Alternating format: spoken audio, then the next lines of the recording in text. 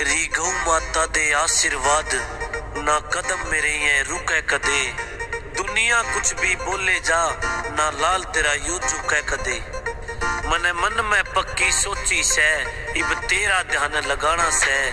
तने सबके बेड़े पार करे, माँ इब के मेरा नंबर आना से।